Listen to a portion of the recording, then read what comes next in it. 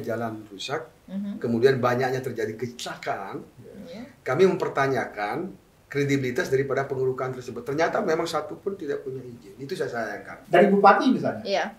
kenapa dibiarkan tanah mereka, tanah yang diuruk dibawa ke bawah, Mhm. dan kemudian merusak lingkungan Dawan dan sekitarnya, kok dibiarkan? Metro Bali Podcast. Selamat datang di Metro Bali Podcast. Beberapa hari terakhir ini sepertinya cuaca kurang bersahabat dan banyak sekali kejadian-kejadian bencana alam yang terjadi di Bali. Banyak hal yang dipertanyakan kenapa hal ini terjadi dan banyak sungai yang meluap saat itu. Salah satunya adalah sungai yang berada bertepatan berdampingan dengan eh, proyek besar yakni Pusat Kebudayaan Bali yang berada di Kelungkung. Ini juga menjadi pertanyaan, tepatkah ini dilanjutkan dan bagaimana dengan eh, anggaran, kemudian juga bagaimana dengan lingkungan yang tentu sangat berpengaruh dengan hal tersebut. Sampai kemudian kita melangkah ke Bukit Dawan. Berbahagia hari ini saya di Metro Bali Podcast hadir podcast hadir dua tamu saya yang ternyata eh, asalnya dari Dawan. Baik, terima kasih Om Swastiastu.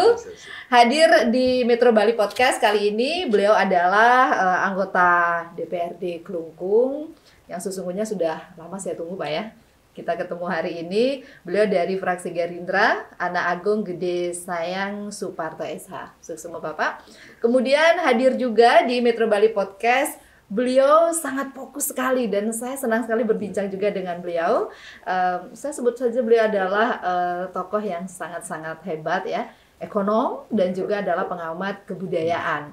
Bapak Jero Gede Sudibyo yang saya tahu juga beliau pernah eh, dua periode eh, jabatan beliau sebagai pendamping gubernur saat Ya, ya, itu Dewa Brate di bidang kebudayaan Ya, ekonomi dan kebudayaan. kebudayaan jadi dua poin ya ekonomi dan kebudayaan dan eh, saya juga eh, sering dengar dan ketahui juga melalui berbagai media bahwa Bapak Jero Gede Sudibyo juga pernah menjabat Ya. sebagai anggota DPR RI utusan daerah kalau mungkin sekarang Ya. namanya DPD RI gitu ya Pak ya Ya, ya. Mm-mm, di periode itu. Baik, eh, kita berbicara tentang sisi penegakan hukum berkaitan dengan Pusat Kebudayaan Bali atau populer disebut PKB begitu, Pak ya. Ini kalau diperbincangkan dari ujung-ujung ujung-ujung sampai akhirnya pada hari ini berjalan dan tetap berjalan sepertinya. Nah, saya ingin tahu nih eh, ke Pak eh, Agung. Sudah pernah ke situ belum, Pak? Oh pasti. Iya. Sebelum dibangun atau pada saat masih Sebelum masih banyak galian saat itu? Ya. Iya. Bagaimana Pak ceritanya saat itu? Ah, Sebelum sebelum dibangun, apa yang kebayang waktu itu Pak? memang Rencananya? hamparan eh, Mhm. tanah pasir Iya. yang bercekung Mhm. tidak termanfaatkan. Jadi hamparan itu digenangi dengan air saat banjir, saat hujan. Tapi di sebelah ujung pantainya masih ada sekelumit bangunan yang mana dibangun pada zamannya Bupati Chandra, yaitu Dermaga Gunaksa. Iya. Dermaga Gunaksa. Itu yang tidak yang tidak terlanjutkan pembangunannya sehingga hingga sekarang hanya masih tersisa itu adalah uh, rundown-nya saja. Iya. Yang lainnya sudah tidak ada. Iya. Itu yang yang saya tahu. Terbayangkan waktu itu Bapak untuk membangun dermaga lagi atau membayangkan bahwa di situ akan dibangun sebuah area tertentu seperti halnya hari ini?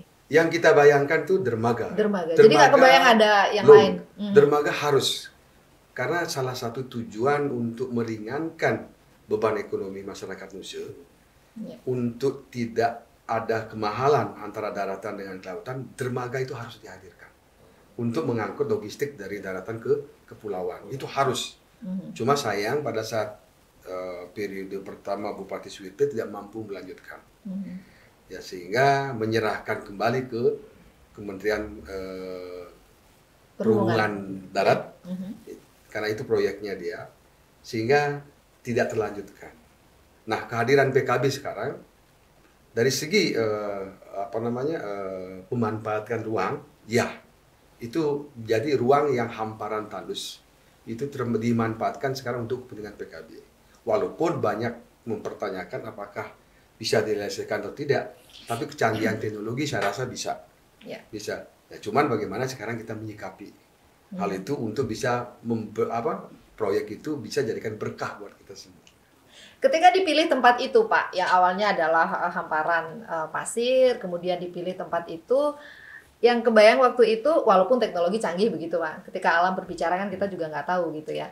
Eh, eh, waktu itu Bapak kebayang nggak bahwa di sana akan dibangun sebuah eh, pusat kebudayaan bisa dikatakan, atau entah gedung lah atau apa gitu. Apakah itu eh, memang tepat dibangun di Kabupaten Kelungkung? Kalau saya lihat asas manfaatnya tepat. Mhm. Asas manfaat loh saya katakan. Ya. Dari berapa bupati tidak mampu menyelesaikan kasus kalian sih. Tidak mampu. Dari zamannya setelah meletus, ya berapa bupati tidak mampu. Hmm. Dan sampai Suirte pun terakhir, dia berjanji untuk bisa menyelesaikan dalam satu periodisasi juga tidak mampu. Tapi Pak Koster dengan eh, dengan impiannya membangun proyek PKB, semua galian C yang penuh dengan masalah itu terselesaikan. Karena pada saat sekarang sebelum PKB itu, kita tidak bisa mengukur letak tanah kita yang ada di situ. Hmm. Ini punya siapa, itu punya siapa, ini ada mengklaim.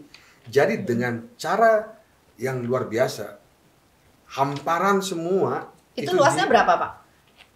Kalau tidak salah kurang lebih hampir 400 hektar itu semua. Iya. 400 hektar dan kepemilikannya itu ada pribadi, ada tanah negara, ya, ya. Jadi ada tanah eh, aset daerah dan semua itu kalau tanah pribadi itu dibayar oleh oleh gubernur, mungkin dengan menggunakan dana pen saya juga kurang tahu, saya dengar di Ya. dana pen. Jadi semua dibayar secara eh, eh, spontan. Jadi bagi mereka yang punya tanah di sana dengan eh, sertifikat atau dalam bentuk eh, legalnya pipil itu dibayar 26 juta per are. Jadi itu berkah buat bagi mereka yang punya tanah. Termasuk juga keluarga saya ada di sana. Eh, Dwi Merajan 98 are akhirnya terbayarkan di sana dengan baik. Dan kerjasamanya dengan BPN luar biasa bagus sekali. Jadi tidak ada menyisakan satu permasalahan. Walaupun ada satu dua, itu silakan lakukan eh, eh, tuntutan dalam bentuk eh, hukum, mungkin ke pengadilan. Itu silakan. Tapi secara overall itu bagus sekali penyelesaian. Iya, baik. Jadi bisa dikatakan bahwa proyek ini baik-baik saja. Kalau saya melihat sih berjalan baik, berjalan baik. Oke.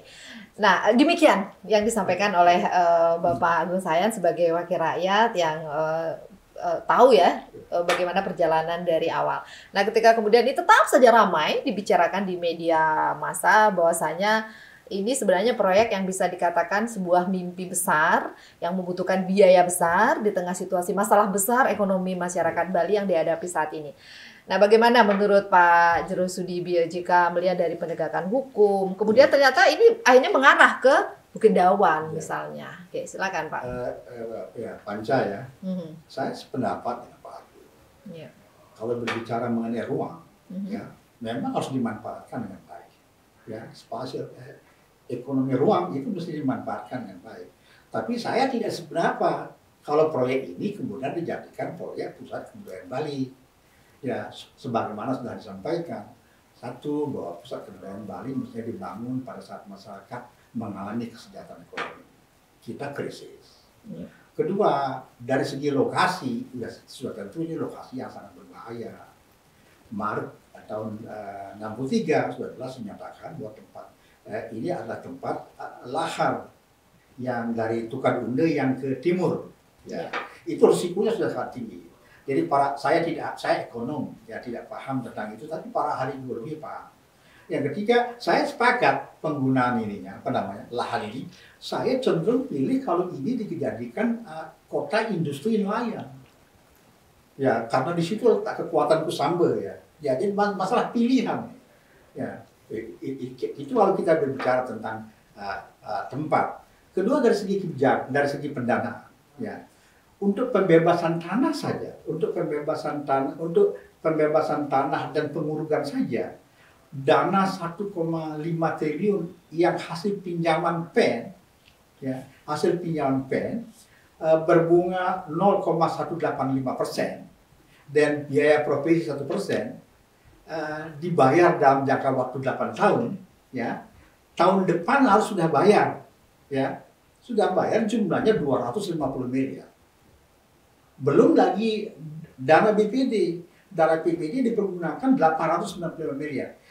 Eh, bicara tentang kebijakan eh, pendanaan dan fiskal ini sudah sangat bermasalah. Ya, dana PEN dari pemerintah pusat jelas bahwa ini adalah untuk pemulihan ekonomi. Ya, sedangkan ini ya dana untuk proyek lain. Ya, pemborong lokal pun sudah mempertanyakan karena nggak dilibatkan. Itu keterberatan kedua. Yang ketiga, yang keempat diinformasikan secara luas proyek ini menggerus sebagian bukit ya sebagian bukit yang ada di atas dawan ya ya bukit eh, bukit apa namanya itu bukit bulu sama bukit saman ya mereka mereka memindahkan tanahnya tanpa izin walaupun mereka punya dengan alasan bahwa proyek ini adalah proyek nasional kan ini melanggar hukum Ya. tapi sampai hari ini tidak ada statement resmi dari pemerintah kabupaten tentang eh, bagaimana proyek ini Ya, pada kesempatan ini kita ingin dengar dari anggota eh, Pak anggota legislatif ya, Iya. dari Pak Agung gimana nih anunya nih. Ya, eh, proyek ini dikaitkan dengan aspek penegakan hukum. Kalau Iya. kita berbicara proyek nasional, eh, berbicara mengenai setiap proyek di negeri yang eh, dasarnya adalah hukum, sudah tentu harus jelas statusnya. Mungkin itu kita ingin dengar dari Iya. Pak Agung ya. Jika berbicara dengan nilai yang sangat besar, Ya. 1,5 triliun, Hmm. kemudian juga masih harus ada dana tambahan dari BPD 900 898 miliar itu kan nilai besar. Ya. Jadi wajarlah bagi eh, seorang ekonom Ya. itu eh, menghitung-hitung, kemudian mungkin kalau mengarah lagi dalam hal bisnis, apakah Eh, ini eh, akan Panja, bisa? Panja, Mhm. ini bukan masalah ekonomi tidak. Mhm. Dalam setiap persyaratan demokrasi yang sehat, Ya. ya, eh, transparansi, ya, Ya. keterbukaan dan tanggung jawab sosial untuk setiap rupiah negara Mhm. harus dilakukan oleh oleh oleh oleh pemerintah. Ya. Itu itu itu tuntutan warga negara. Jadi sampai hari ini eh, eh, belum terdengar tentang hal itu ya Pak ya? Kita nggak dengar. Belum dengar ya. Pak ya? Tapi dari angka-angka ini memang angka-angka yang sangat eh, prestisius begitu ya Pak ya? Nah, ini angka-angka resmi, angka-angka resmi yang disampaikan oleh pihak eksekutif di Ya. DPRD. Ya. Jadi bukan angka rekayasa, angka resmi yang disampaikan oleh eksekutif di sidang DPRD. Dan tentu kalau berbicara angka ini ada pertanggongjawaban yang jelas begitu ya Pak ya? Oh sudah tentu. Iya, dan ini masih menjadi tanda tanya. Kalau sudah bicara angka ini biasanya agak agak agak, agak menjadi ramai begitu ya Pak ya? Tidak perlu menjadi rame. Mhm. Kesepakatan kita membangun eh, demokrasi da- 24 tahun yang lalu reformasi Iya. bahwa salah satu persyaratannya adalah transparansi. Ya transparan Trans- biasanya ya, rame trans- Pak. ya, ya, transparansi nggak nggak dianggap. Oke. Kita ingin lihat transparansi eh, Hmm, dari bupati misalnya. Iya. Kenapa dibiarkan tanah mereka, tanah yang diuruk dibawa ke bawah Mhm. dan kemudian merusak lingkungan Dawan dan sekitarnya? Kok dibiarkan?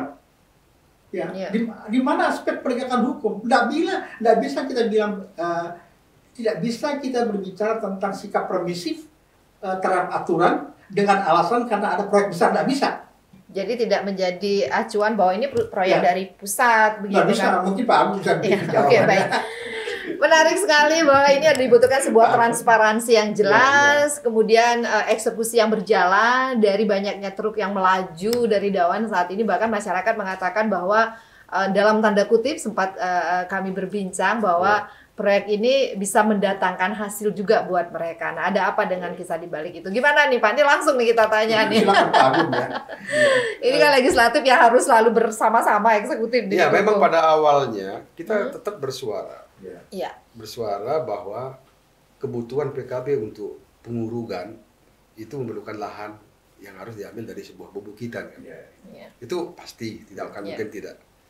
Saya tidak henti-hentinya karena saya langsung bersentuhan dengan masyarakat Mhm. di mana bukit itu tidak dilakukan kajian awal di dalam melakukan eh, pengurukan. Saya pernah berbicara. Saya di koran paling sering berbicara. Saya menyarankan bupati harus ketemu gubernur. Mhm. Saya bilang, "Hai Pak Bupati, ketemulah sama gubernur." Mhm. Dia itu ajak dia jalan-jalan, Pak Gubernur, saya punya bukit ini di Dawan. Ada empat hamparan bukit yang besar, yaitu Ya. Bukit Buluh dengan dengan dengan dengan dengan dengan luasnya, kemudian ada di Bukit Dawan, ada Glaugor, kemudian ada Sangluh, yang mana menurut kajian baik untuk kita keruk dan jadikan tanah uruk di Saat PKB. apa Bapak sampaikan itu? Apakah pada saat sidang atau secara pribadi atau ketemu? Saya di koran karena itu ma- munculnya banyak di koran, masukan dari koran, banyaknya jalan rusak, Mhm. kemudian banyaknya terjadi kecelakaan, Ya. kami mempertanyakan kredibilitas daripada pengurukan tersebut. Ternyata memang satu pun tidak punya izin. Itu saya sayangkan. Mungkin yang punya tender punya izin, tetapi mereka itu membeli dari masyarakat yang punya tanah tidak punya izin. Tender dalam hal ini maksudnya dari luar begitu? Eh, yang mereka yang punya menang tender untuk penguruk pengurugan itu kan ada satu perusahaan, Ya. ya. Tapi dia akan mencari penguruk bahan dari luar, Iya. entah dari mana. Dan yang paling aneh sistemnya, Ya. sistemnya adalah seperti COD. Tanah itu COD sekarang di situ, cash on delivery. Mhm. Jadi siapa pun boleh bawa tanah di sana, truk. Ya. Yang penting sampai di sana dia bayar. Makanya terjadi masif pengurukan di mana-mana. Tidak Tanpa- terkontrol. Tanpa ada kajian apa-apa. ini Tidak perlu- ada kajian. Ini perlu diberikan catatan apa yang Mhm. disampaikan oleh Iya. Pak Agung ya. Mhm. Jadi yang menang tender itu adalah orang yang tidak memiliki tanah. Ya Pak Agung ya. Iya, betul. Dia Iya. memiliki tanah dan kemudian yang menjual tanah dia buat punya tak punya tanah tapi tidak punya izin. Ya. Ini dari segi aspek hukum kan proses pengerjaan proyeknya sudah cacat hukum gitu. Ya. Ya, ya ini sebuah proyek besar. Ya Pak ya. Ya Eh. kan ada ada persoalan itu. Eh, ada persoalan sih. Yang sangat disayangkan ya eh, eh, bupati sebagai pimpinan wilayah beritanya sudah begitu meluas dan berdampak langsung dalam kehidupan masyarakat lingkungan rusak pak. Ya lingkungan rusak. Dan kemudian eh, kita tahu lah tidak seluruhnya eh, pengempuan pura eh, Bukit Pucuk itu ber- berani berbicara. Tapi di media sosial dia menyindirnya begitu keras dan kita menangkap itu. Ya. ya kita menangkap itu. Ya semestinya bupati kan eh, mengambil tindakan tegas. Ya ya Pak Agung ya. Mengambil tindakan tegas. Tidak tidak seperti muncul di media di eh, tu- turun petugas-petugas yang mencoba menyelesaikan masalah di bawah yang tidak punya kapasitas menyelesaikan masalah jadi kan eh, persoalannya menjadi lebih rumit pak Ya. persoalannya menjadi rumit pras- prasangka bertambah dan semakin menjadi ketidakpastian Mhm. terhadap proyek PKB yang menurut Pak Agung silakan bahwa itu kemanfaatan ada, tapi banyak pihak memasalahkan. Pemimpin kan bagian dari solusi. Nah, Ya. kita harapkan Pak Bupati mengambil langkah-langkah seperti yang disarankan oleh Pak Agung tadi itu. Ya. Nah, iyakah begitu Pak Agung bahwa sejauh Ya. ini Bupati tidak tidak memberikan respon. Kalau beberapa waktu lalu itu kan sempat eh, ada penutupan sementara, kemudian sampai BEM Unut juga eh, menyampaikan hal itu. Ini menurut Pak Agung sendiri gimana? Sebenarnya penutupan sementara itu kata-kata sementara kan, berarti Mhm. berlanjut. Iya. Berlanjut. Yang kita harapkan itu bupati turun, turun dengan gubernur memilih bukit yang potensi untuk kita jadikan pengerukan Mhm. berdasarkan kajian. Kita kan harus kalau umpamanya dulu tidak ada proyek PKB, Mhm. sedikit aja pengerukan kepolisian udah jalan. Saat itu. Saat itu sebelum Tetapi- PKB tetapi itu ada kenapa- beberapa yang sudah dipanggil Kenapa dulu. berbeda ketika itu untuk proyek Nah, PKB? inilah saya yang saya katakan, jangan sampai karena orientasi untuk pengerjaan proyek besar itu harus tercapai, Mhm. mengabaikan eh, sisi-sisi kelingkungan hidup Iya. yang ada. Kalau saya cenderung, saya sependapat kalau pemanfaatan proyek, apalagi PKB diberikan kita berkah untuk lingkung, tapi pengerukan bukit harus Iya. berdasarkan hasil kajian. Karena saya bilang ada beberapa desa saya coba memberitahukan tutup, dia tutup. Salah satu contoh di desa Glogor, Iya. pengerukan batu-batu besar itu. Mhm. Kalau ini dikeruk, itu tumbuh-tumbuhan kan tidak mungkin ada. Hmm. Tetapi ketika air bah itu satu desa itu satu banjar itu desa itu bisa hancur loh. Tapi mereka sadar Ya. dia tidak mau melakukan. Tetapi kalau bebukitan dikaji dan sekarang yang saya lihat, yang saya lihat malah terjadi masif pengerukan itu di daerah sumber mata air. Ini di itu Pak? Contohnya, kalau lihat di Pakse Bali itu ada dua, tiga PDAM sumber mata air di sana. Pak Agung ini eh, eh, mata air eh, yang dimanfaatkan oleh eh, desa atau PDM atau apa ini? PDAM dan desa. Ah, itu, itu satu contoh. ah, ah, Iya. PDAM dan desa. Baca. Itu mau Iya. menggambarkan bahwa proyek ini eh, Tanpa kita kajian. memper- ah, ah. Kajiannya ada, Mhm. amdalnya. Tapi Pak Agung sudah menjelaskan ada persoalan serius tentang ambal yang, yang telah dibuat. Kan mestinya ini pesan untuk Pak, Pak, Pak Bupati ya. Iya. Ya Pak ya. Kalau saya tidak melihat kalau AMDAL proyeknya di Iya. situ terbeda. Saya tidak tidak tidak mengomentarin AMDALnya yang ada di sana. Ya. Ya. Tapi yang di bukitnya. Yang ada saya komentarin itu bagaimana pengerukan bukti itu berdasarkan kajian. Karena ini kan bukit ini kan termasuk eh, galian C. Iya. berdasarkan PP 55 tahun 2022 yang baru Mhm. itu kan diberikan kewenangan gubernur untuk melakukan eh, perizinannya. Ya. Jadi saya tidak masuk dalam kapasitas eh, AMDAL dan SEMDALnya PKB, PKB, ya. tetapi saya masuk dalam kapasitas ini untuk eh, mengkritisi Galiansi akhirnya galiansi itu juga. harus berdasarkan kajian. Hmm. Makanya saya bilang demikian, tidak semua bukit boleh harusnya dikeruk Iya. kalau berdasarkan kajian. Mhm. Dan terbukti bahwa di semua titik sekarang itu ada sumber mata air yang berhubungan dengan PDAM. Paksa Ya. Bali, kemudian ada di Buayang, Desa Gunakse, di Dawan ini digali pak, ini digali pak. Eh, apa ya digali? Itu, ini, ini, Maksudnya eh, ini mata air itu Mata air di bawah, di Hmm. well pump itu. Itu itu eh, sumur bor. Eh, Tapi Sumur ini bor, digali ya. untuk anu, untuk bukit. Oh tidak, dia kan pakai resapan. Mhm. Resapan bukit kan, airnya kan di situ kan mempengaruhi debit Iya. air. Oh ya, nanti pasti pasokan airnya ya, pasti debit Iya. air. Nah, Hmm. makanya saya bilang juga mengusulkan kepada bupati menghadap gubernur, nih saya punya bukit di Dawan, begitu banyaknya, kajilah ada dengan kerjasama dengan Udayana umpamanya. Oh, Iya. bukit yang mana kita bisa keruk habis dan ditata. Bukan seperti sekarang. Maksud saya kita ditata, keruk tapi ditata. Teras siring, itu kan Iya. lebih bermanfaat. Kenapa? Proses penumpukan jadi tanah itu prosesnya kan lama. lama.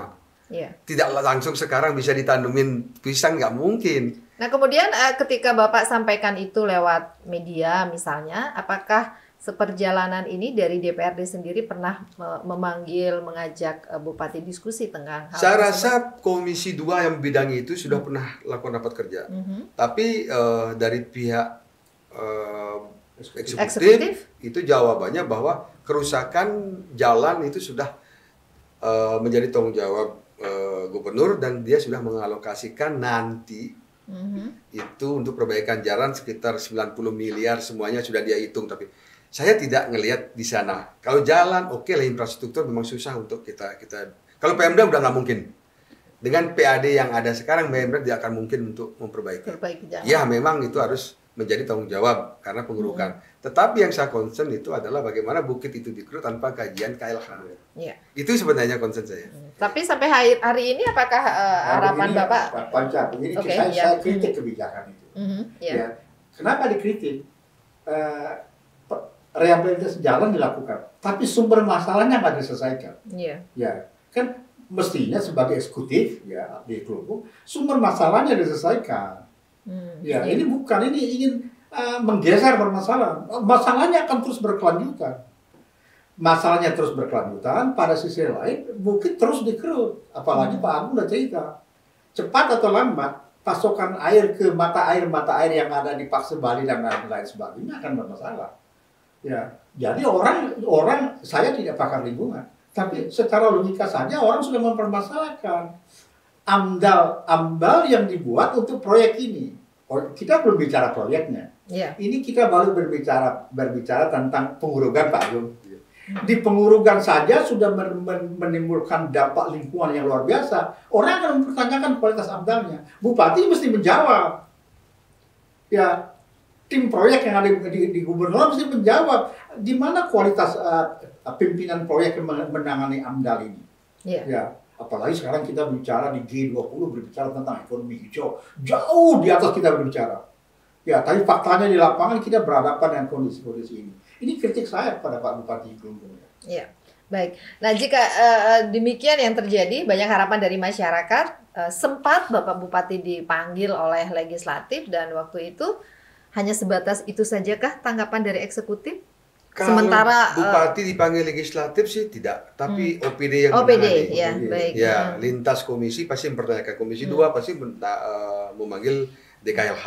Iya. Sudah ada kajiannya belum kan? Hmm. Tapi tetap dijawab tidak. Karena apa? Karena ini merupakan dan lagi tugas dan tanggung jawab. Tugas dan tanggung jawab perizinan itu ada di provinsi. Iya. Jadi Satpol PP tidak berani langsung eh, melakukan peneguran. Dia harus kerjasama dengan Satpol PP provinsi. Karena itu bukan menjadi eh, tanggung jawab eh, di daerah.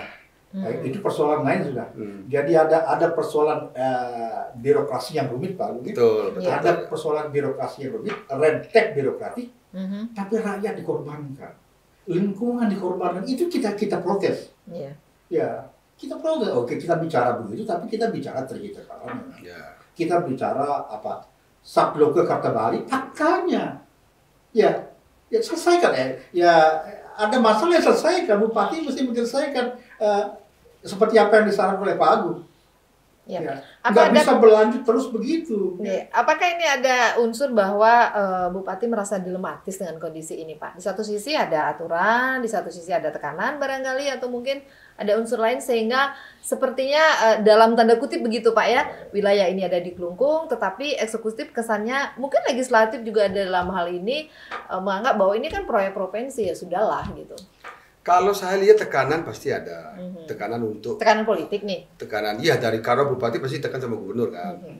Tapi kalau seorang bupati yang mempunyai kekuatan kepemimpinan yang bagus, tidak berarti kita harus berseberangan dengan gubernur tidak. Iya. Tetapi dia harus berani menyampaikan secara regulasi. Apakah sejauh ini belum berani? Saya rasa tidak. Belum. Belum, belum, belum dan tidak. Kalau saya belum lihat, Ya. makanya saya sampai sarankan bupati itu menghadap ke gubernur biar tidak sampai eh, berlangsung lagi Masalahnya masalah ini. ya. Jadi mereka tuh turun dengan melakukan kajian. Udayana kan juga sudah profesional sekali Ya. kerjasama dengan Udayana. Bukit yang mana yang kita bisa tata sehingga bongkaran itu kita bisa pakai nguruknya di Gun- Gunakse. Jadi dengan konsep Nangun Satkirtilo ke Bali itu berda- berbasis Trihite karena itu ada bukan retorika. Iya. Jadi kelihatan dilaksanakan di masyarakat. Iya. Tapi Setuju- ini sudah ber- Pak ini ini sudah berjalan cukup lama ya Pak ya? Sudah berjalan cukup Ah, lama. Saya, ah, ah, apa Mhm. namanya ah, Panja, Ya. ah, Anda tadi berina berandai tidak bisa. Mhm. Jadi apakah bupatinya dile- dilematis? Bukan masalah di, di, Hmm. dilematis, ini masalah ah, ah, law enforcement, penegakan Iya. hukum.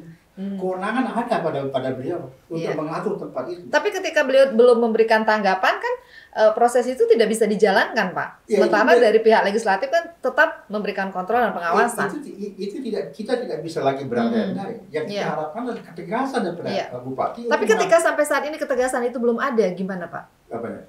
Artinya kita menantikan nih Ya, melalui ketegasannya. melalui suara publik ini kita Iya. ingatkan. Mhm. Ya. Jadi langkah inilah yang harusnya Iya. dilakukan tanpa menunda. setiap hari setiap hari penundaan pengambilan keputusan Iya. ya lingkungan itu menjadi semakin rusak itu pertama Iya. kedua eh, citra publik cerita cerita masyarakat pemilih Iya. ya terhadap kekuasaan akan menurun Mhm. ya saya ikut berjuang reformasi kita inginkan bahwa lembaga-lembaga politik ini menjadi lembaga-lembaga yang terhormat Mhm. Ya respect ya ya saya jadi anggota NPR Usandara Bali tahun 1999 sampai 2004 karena ikut berjuang eh, ber- ikut berjuang ya Sampai 2014 bukan Pak? dua, eh, dua, eh, 2000 2000 2009 sampai du- 2014 ya. ya Mhm. dipilih oleh anggota DPR Bali yang ketuanya Pak Rusnau yang gubernurnya Dio Brate saya salah satu dari itu Mhm.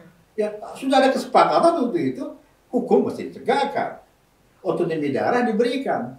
Tapi kewenangan apalagi lingkungan. Lingkungan menjadi komitmen yang kuat. Ya kemudian gubernur sekarang membawa visi yang hebat. Sat Namun saat kecil ke Bali. saat kecil ke Bali salah satunya adalah uh, Wanda Kerti Wanda Ya. Kerti kesejahteraan hutan. Ya. Air di pekaranya itu menggambarkan simbol-simbol di mana kita harus memuliakan hutan. Ya karena di sana ada aspek ketuhanan. Itu luar biasa. Ya. Semeton di dakwah tuh paham betul itu. Ya. Ya, to- tolong dihargai apa perasaan mereka. Kalau sudah menyangkut pura tidak lagi perasaan harga diri mereka. Mhm. Kan banyak pura di sana, Pak. Pengempunya ribuan ya. Ya. Ya itu itu respect harga diri mereka. Ya keterlambatan satu hari dan kehancuran berlangsung terus. Ya di sinilah kita harapkan uh, seperti sarannya Pak Agung tadi temu gubernur dan buat keputusan sesuai dengan aturan hukum yang berlaku dan bisa dijalankan. Bagaimana Pak? Saya memang usulan saya seperti itu. Mhm. Jadi tidak tidak ada konflik horizontal. Iya. Ya, memang pada saat sekarang seperti di sebelah selatannya Bukit Bulu dihentikan Mhm. karena pengempuan banyak yang komplain. Kalau terjadi apa longsor, itu kan risikonya tinggi. Apalagi Pura itu baru habis dibangun dan diupacarai. Jadi itu diberhentikan karena permintaan masyarakat. Masyarakat yang demo. Kenapa di tempat yang lain tidak dilakukan Karena tidak katanya, tanda kutip masyarakat tidak ada yang demo. Kok harus nunggu masyarakat demo? Kan tidak Iya. kan. Kalau Hmm. kita kalau kita sebagai pemangku eh, jabatan di daerah, kita berani menyampaikan. Ini tidak tidak jelek kan? Mhm. Menyampaikan sama gubernur, justru gubernur malah lebih respect sebenarnya. Mhm. Kalau disampaikan dengan baik bahwa ini loh seperti yang saya katakan, ayo kita kaji yang mana yang kita bisa lakukan penataan sehingga satu bukit ditata lebih baik, bisa dimanfaatkan lebih bagus, proyek PKB jalan, pemanfaatan ruang juga enak, lingkungan tidak juga rusak. Ini konsep itu baru namanya trihita karena. Pada akhirnya sampai saat ini proses proyek ini kan masih berjalan Pak. Untuk penggalian ini juga masih berjalan begitu Pak ya. Tapi Ketika saya ingin beri catatan bagus Mhm. sekali apa yang sampaikan Pak. Ya, silakan. Eh, ini ini address ke bupati ya, ke gubernur. kita catat. Ya, potensi potensi terjadinya konflik horizontal. Mhm. Ya, ya antara pengampun pura Ya. yang dari sana dan dari seluruh Indonesia dan penduduk lokal yang punya tanah itu. Jangan sampai terjadi itu. Tapi Ya. bagaimana ketika masyarakat juga ada sepertinya sambutan bahwa ini juga eh, menjadi ruang kerja buat mereka di tengah kondisi krisis saat ini. Negara hadir kan memberikan eh, apa namanya? Eh, negara hadir kan memberikan nyaman. negara hadir kan memberikan pendidikan, rasa nyaman, kepastian hukum.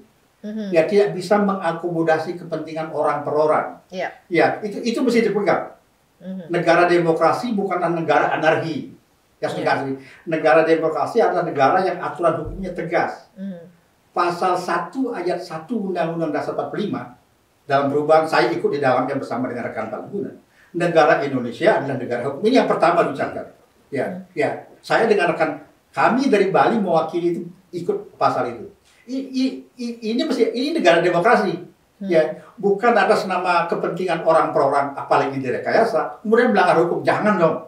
Ya. Ya, jangan ja- eh, jangan eh, atas jangan oknum atas nama negara memanfaatkan itu dan melirik masyarakat salah dan kemudian cenderung terjadinya kuasi anarki yang seperti tadi disampaikan oleh Pak Pak Agung tadi jangan-jangan me- menimbulkan potensi hor- horizontal yang sudah tentu kita tidak inginkan Pak Agung ya. Sudah tentu sangat sangat tidak kita inginkan. Iya. Bagaimana kita berbicara tentang eh, pro- proyek mercusuar pusat kebudayaan Bali Mhm. pura-pura di sana yang milik saudara-saudara kami se Iya. seiman Mhm. jangan dong diwarnai oleh konflik karena kealpaan negara dalam mengatur kebijakan publik Iya. itu patut diberikan catatan Kita tidak ingin ini berlanjut ya Pak ya. Sekiranya bisa hari ini, usai kita podcast ini bisa dieksekusi bahwa ini Iya. tidak akan dilanjutkan lagi. Namun ya masih ada keraguan kesannya. Ya apa namanya panca mengundang wacana berkelanjutan Mhm. ya sedangkan Pak Agung sudah jelas wacana itu dihentikan Mhm. ya wacana itu dihentikan kemudian diambil langkah ya j- supaya jangan berkepanjangan ya Ya. Karena korbannya sudah ada ya Pak ya.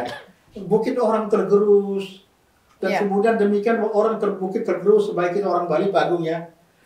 Kalau bukit tergerus kemudian lingkungan pura kita merasa tidak nyaman, eh, jangan-jangan pura kita keledahan. Ya kita sendiri keledah. Itu nggak bisa dibayar dengan uang Pak Agung ya Pak. Setuju Pak Agung? Iya. Nggak bisa kita bayar itu. Nah, kuncinya ini kan sekarang ada kepada Pak Bupati nih Bupati. sebagai eksekutif. Jika ketika legislatif sudah meminta untuk ketemu dengan Bapak Gubernur tapi sampai hari ini belum dilakukan, kira-kira langkah apa yang dilakukan oleh legislatif selanjutnya, Pak? Atau mungkin legislatif aja langsung ketemu sama Pak Gubernur? Sebenarnya, Nggak boleh gitu ya. sebenarnya kan mekanismenya tidak ada. Mungkin udah nggak sabar nih, aduh saya udah kasih Pak tahu. Gubernur juga dari partai politik. kan. Iya. Iya. Mereka kan pasti punya kan, apalagi ketua DPD kan. Iya. Ya mereka punya punya DPC yang delegasi notabene sekarang yang berkuasa di Kelungkung. kan. Apalagi begitu. Ya, jadi mereka sebenarnya dari segi komunikasi gampang, Mhm. gampang sebenarnya melakukan. Iya. Tapi apakah ini mau dilakukan itu sekarang tergantung. Jadi ini apa attitude kebaikan daripada bupati dan gubernur. Mhm. Mau nggak diwarnai nangun sarketilo ke Bali, Balinya ca- cacat kan seperti itu. Iya. Saya terus terang sependapat dengan konsep Pak Gubernur luar biasa. So, luar biasa. Pemanfaatan PKB saya sangat setuju. Karena apa? Berkah buat masyarakat kami yang Iya. sudah bertahun-tahun menjadi hamparan pasir. Iya. Ya, cuman kami hanya menyampaikan bahwa dalam penataan pengurungan itu dilakukan dengan cara bagus. Artinya harus ada kajiannya, bukitnya kan. Sekarang di sini dikeruk ke sudah tidak mampu lagi dikeruk kan bopeng. Pindah lagi ke sini. Kalau ini mendapatkan apa namanya pers- apa disetujui oleh masyarakat luas, saya katakan tidak juga. Coba lihat di sepanjang jalan pengurukan itu pasti di depan rumahnya ada batu gede-gede.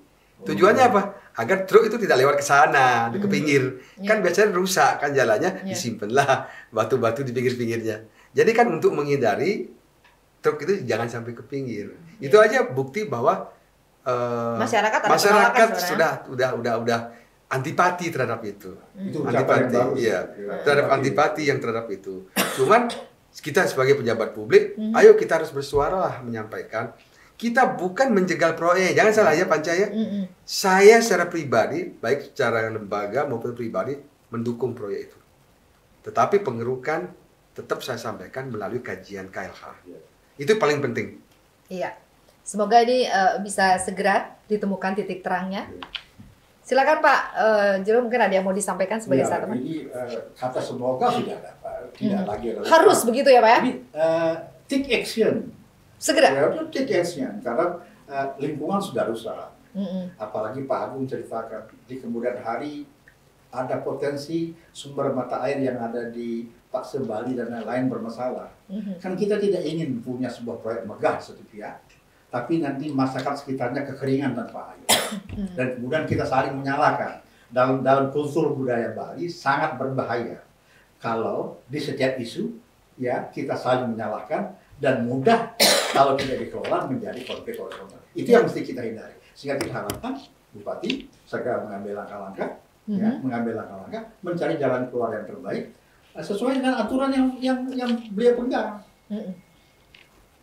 Ya, Gitu. langkah cepat itu yang kita Oh ya, harapkan. tentu, tentu. Baik, ya Metro Bali Podcast, eh, kita berharap bahwasanya diskusi ini akan berlanjut pada satu langkah cepat, langkah tegas, sehingga proyek yang diharapkan menjadi satu kebanggaan bagi masyarakat Bali, yaitu PKB, Pusat Kebudayaan Bali ini dapat terlaksana dengan baik, sementara alam lain tidak terusik, semuanya saling terisi dengan aturan yang jelas. Kita akan bertemu kembali di Metro Bali Podcast berikutnya, sampai jumpa. Metro Bali Podcast.